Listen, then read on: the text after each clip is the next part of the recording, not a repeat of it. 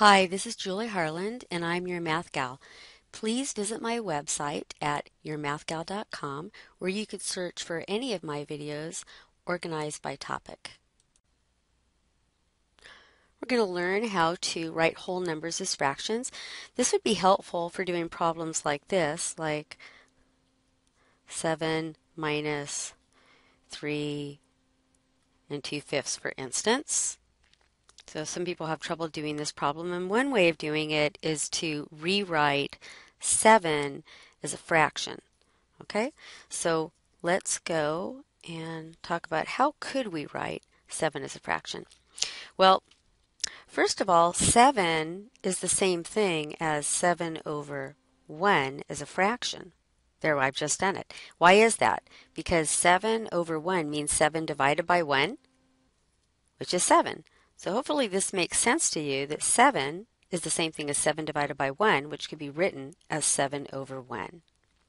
Okay, now once you've written it like that, um, we can make an equivalent fraction by multiplying the numerator and denominator by any number we want. So let's say you wanted to have a denominator with a 3 in the bottom. Well, then I can just multiply the 7 over 1 by 3 over 3, because that's the same thing as multiplying by 1, of course, right? Since 3 divided by 3 is 1.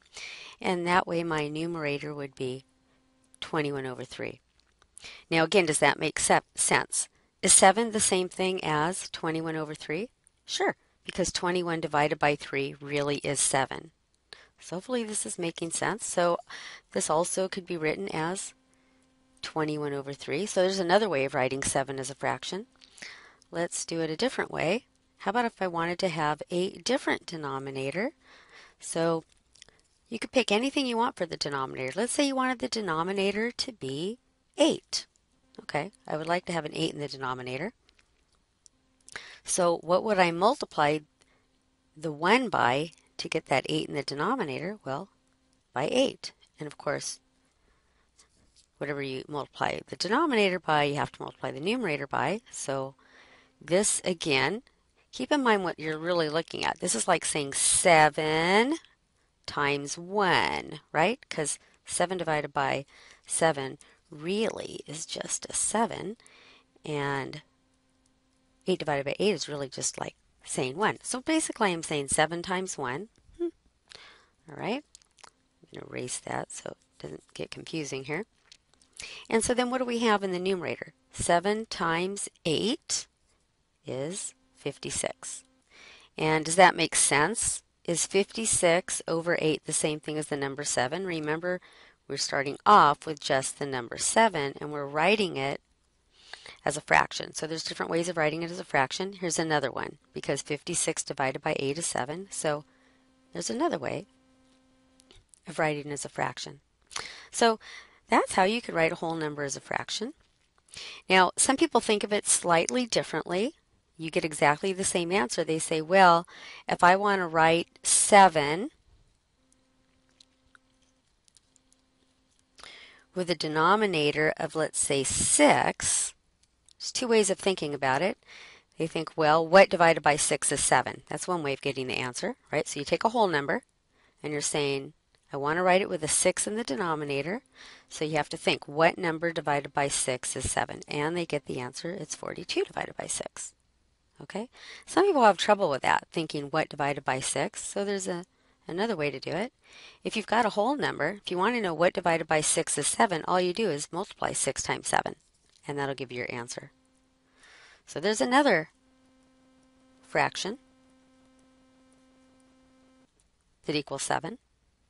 Let's try one more like that. What if you wanted to make the denominator 10? What would go in the numerator? Well, you say 7 is what divided by 10, or you could just say, well, that's got to be 10 times 7. So 70 over 10. All right, let's pick another number besides 7. How about 3? How can I write that with the denominator of 2. What would go in the numerator? Well, 2 times 3 is 6. And then check and see if it makes sense after you've written it as a fraction. Is 3 the same thing as 6 divided by 2? Certainly. Now remember, the first way I showed you to do it is you could write 3 is 3 over 1 and say I want to end up with a 2 in the denominator, so I just multiply by 2 over 2. Right? So that I get a 2 in the denominator and you still are going to get 6 over 2. So you kind of have to pick which way is easier for you to do it. Is it easier for you to write it as 3 over 1 and then do you multiply by 2 over 2? Or can you go directly to this? 3 equals what over 2 and pick that number at the top by multiplying the 2 times 3. Let's do another one. How about 5? 5. See, can you do this one?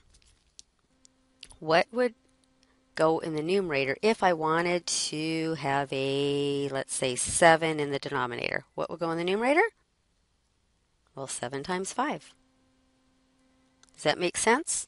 Is 5 the same thing as 35 by, divided by 7? Yes. All right, why don't you try this one? How about the number 11? Now, what I want you to do, I'm going to leave off the equal sign here because I don't know which way you're going to do it. I want you to write 11 as a fraction that has a denominator of 8. Okay, so write 11 as a fraction with a denominator of 8. Okay. Hopefully you did that.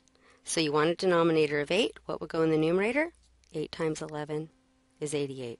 Does it make sense? Is 88 divided by 8 11? Yes. And the other way some of you may have done this is you may have written 11 as 11 over 1 and said I want to have a fraction with a denominator of 8. So I would multiply top and bottom by 8, getting 88 over 8 that way. All right, just for fun, let's do a problem where it might be useful to change a whole number to a fraction. All right, let's do 7 minus 3 eighths. Okay, there's a couple ways to do this problem. Okay, but one way is you're just going to get a common denominator. So let's do that. So if I want to get a common denominator, I want to write 7 with the same denominator uh, as a fraction that has the same denominator as this other one, which is 8. So I want to write 7 with a denominator of 8. Okay? So how would I do that? That's what we just went over.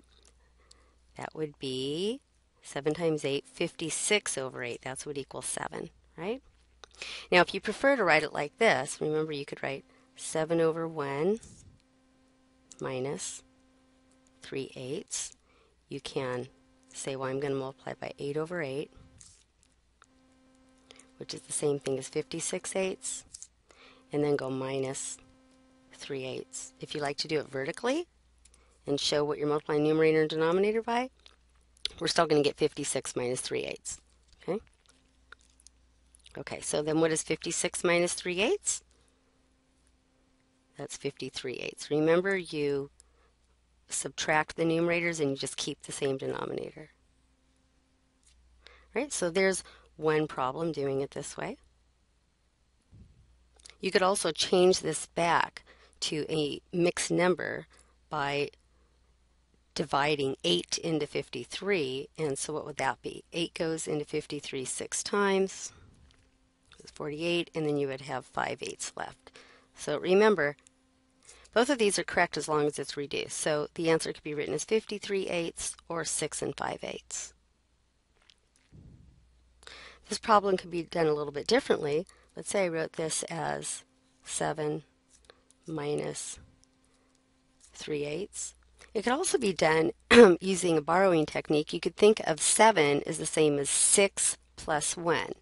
So I could think of this problem, watch, if I'm going to borrow 1 from the 7, then this becomes the number 1. So I've got 6, and I the whole number. Now I'm going to subtract down. 6 minus, there's nothing here. That'll give me 6. And then I have to do 1 minus 3 eighths. And here we go again. How would I do 1 minus 3 eighths? I could change that 1 to a fraction with the same denominator. So 1 is really the same thing as 8 eighths. And now I can go ahead and subtract. 8 eighths minus 3 eighths is 5 eighths. And notice I get the same answer as when I did it this other way, 56 eighths minus 3 eighths, and I got 53 eighths. And then I changed it to the mixed number. Okay? All right, let's do another one where we're going to have a whole number minus a mixed number. Let's see what that looks like. All right, let's take 5 minus 2 and 1 third. Well, one, we, one way of doing this is we could change both of these to fractions, to improper fractions, and then get a common denominator. So let's do the 2 and 1 third first. That would be 3 times 2 plus 1. The numerator would be 7 thirds. Okay, so I know I want the denominator to be oh, 3, and so 15, using the technique we've been going over, would be what over 3? That'll be 15 over 3. Remember, you just multiply the 5 times 3. And so then we have 15 minus 7 in the numerator, that'll be 8 thirds. Okay, written as a mixed number, that'll be 2 and 2 thirds. Okay, second way with borrowing. So we have 5 minus 2 and a third.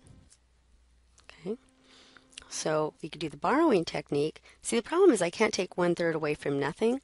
So if I borrow, right, I know that 5 is the same as 4 plus 1. Okay, instead of me writing 1, how about if I write 1 as a fraction with a denominator of 3?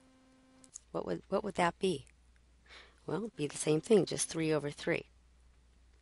All right, so now I could do 4 minus 2, which is 2, and 3 thirds minus 1 third, which is 2 thirds. And look at, I got the same answer again, 2 and 2 thirds. So this is, you know, an example of where you might want to be able to change a whole number to a um, fraction so that you could do subtraction with mixed numbers and, and whole numbers, etc. Now, this isn't the only way to do these uh, this kind of a subtraction problem. I could think of two other ways, but I'm just going to leave it for now at this because this video was really over about how to write a whole number as a fraction.